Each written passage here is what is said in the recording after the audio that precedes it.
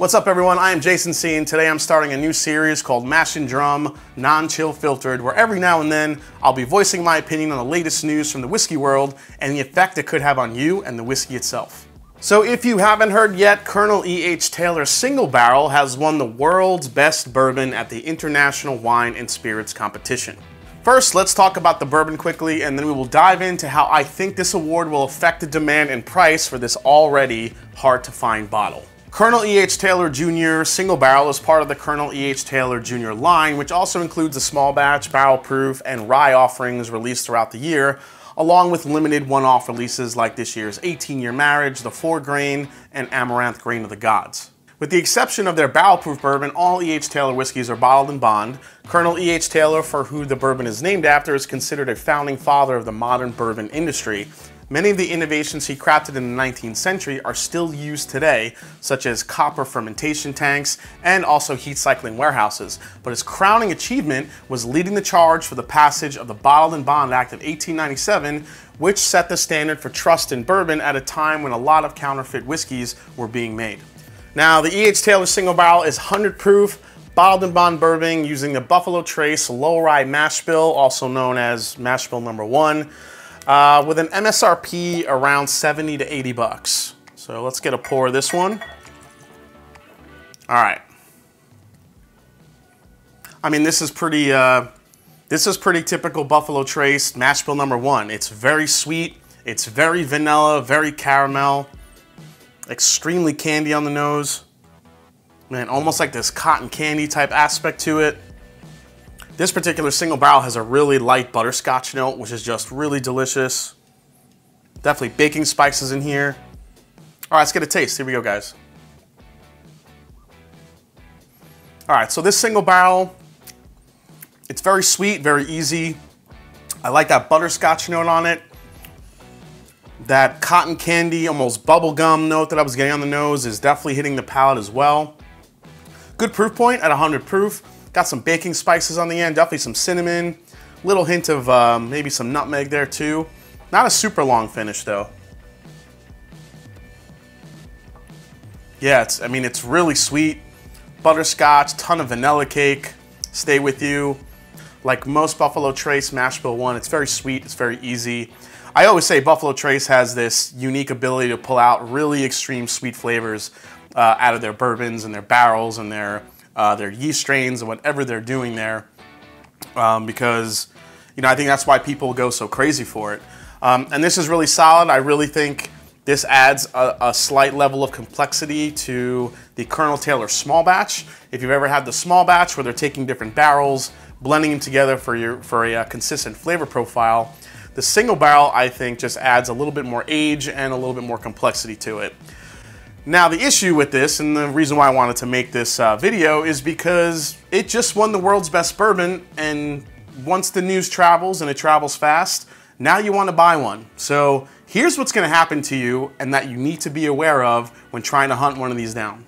So first off, Colonel E.H. Taylor Single Barrel is already hard to find like most Buffalo Trace products. This isn't a bourbon you're going to be able to walk into a store and just find sitting on the shelf, and that was before it just received this award. So if you're already on the hunt for this bottle, you will have to probably get lucky bourbon hunting, uh, you know, walk into a store where there's actually one sitting on the shelf uh, for some crazy reason, or have a great relationship with your local store owner to actually get your hands on one. Secondly, and the part that's gonna piss me off, and probably a lot of you out there, is this is a 70 to $80 bourbon, and the price is going to skyrocket in price, both from store owners and from secondary market who want to capitalize on the shiny new award this bourbon just won. I am already starting to see this bourbon going for over $200 and I think it's just Forbes magazine, who posted the article about this big win, said that this bourbon is still a bargain at $235, which is not only an uneducated and irresponsible thing to write, but also adds to the price gouging and demand for this bourbon. Articles like this keep these bourbons as ultra luxury offerings when in reality, at best, this bourbon to me isn't worth more than about a hundred bucks. All right, so why don't I think this is worth more than a hundred bucks? Okay, so first thing, it's non-age stated. There's no age on the bottle to tell you how old it is. Uh, supposedly, they could be anywhere from 7 to 12 years old in this bottle. Um, maybe if you slapped an age statement on there and I knew that I was getting a 10 year old or a 12 year old bourbon for that amount of money for 100, 150, maybe up to 200, maybe I could be a little bit more on board with, you know, that type of price increase. Next up, it's a single barrel. I mean, each unique barrel is bottled and could be different than the single barrel right next to it. E.H. Taylor doesn't label any barrel information, either like Henry McKenna here, which will actually show the, the barrel number, uh, the barrel date. Uh, on some single barrels, it'll actually give you the Rick information, exactly where the barrel was sitting, which I think is pretty cool. But none of that is present on the label for Colonel E.H. Taylor single barrel. Now, I would bet anything that at the International Wine and Spirits Competition, they got themselves a wonderful honey barrel that tasted amazing. But we will never know what barrel that is, and chances are, even though I do think Colonel Taylor single barrel is pretty consistent for a single barrel offering, chances are the one you pay for or overpay for will not be the same one that they tried at that international spirits competition. So all in all, don't listen to that Forbes magazine article where it says at 235 bucks, this is still a bargain. I'm taking another sip right now. Again, it's very sweet. It's very easy to sip, very delicious.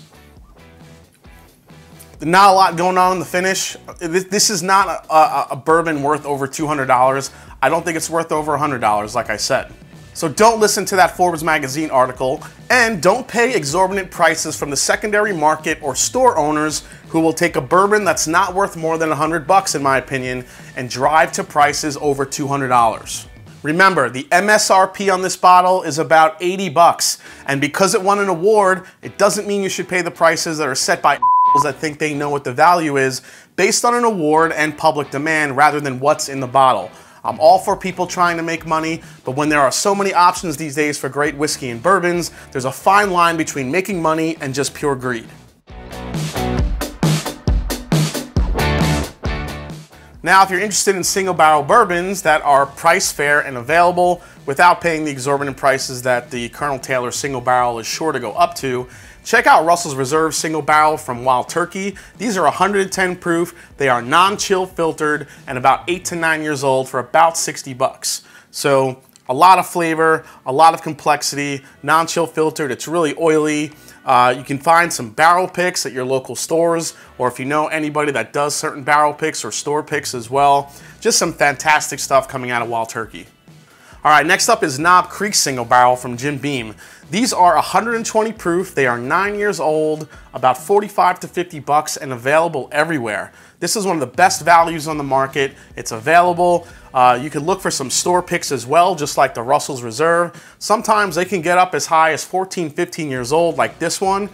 Um, so you think about it for a bourbon that's maybe 14 to 15 years old, usually you see those in upwards of $200 or more, whereas these are about 45, 50 bucks if you could find them. Absolute bargain from Jim Beam. Next up is Baker Single Barrel, which is 107 proof. These can be about seven to nine years old and they're only about 60 bucks. Uh, Unlike the Colonel Taylor single barrel, this gives you all the information you need right here on the neck tag. This gives you the date it was barreled, the barrel age. This one is seven years and nine months, but I have seen ones that are close to nine years old. Uh, this gives you the Rickhouse number, it gives you the serial number, all the great information you need. Uh, this was a redesign pretty recently from Jim Beam. This was a small batch originally. It went to single barrel. Now there's a chance for you to get a really good one that's a little bit higher in age than what the label suggests. Just another great offering. Lastly, we have a couple of craft distilleries like New Riff and Wilderness Trail offering affordable single barrels for about 50 to 60 bucks. Now, these might not be as old as some of the ones I mentioned when it comes to age in the bottle, but they definitely taste that way. They're non-chill filtered, which gives them a little bit of a creamier mouthfeel. They're about 100 proof. I think this one is, this one's 112 proof, so a little bit higher than the Colonel Taylor, but still offering a lot of different flavors uh, at affordable prices instead of you going out and chasing down a Colonel Taylor single barrel, which you either will not find or if you do find it, someone's gonna charge you out the ass for it. All right, guys, well, hope you enjoyed the first episode of Mash and Drum Non-Chill Filtered as I got to vent some of my frustrations, hear about the uh, Colonel Taylor Single Barrel winning the award, and already the price increases that are going to be going on with it. And I'm sure we're going to see it continue uh, throughout the rest of the year as people try to hunt one down, a bottle that was already hard to get. Uh, if you enjoyed it, hit the subscribe button below. Please hit that like button. If you haven't yet, find me on Instagram and find me on Twitter. Let me know what you think. If you've seen prices go up on this, if you've already never seen this bottle, if you've never seen one in person.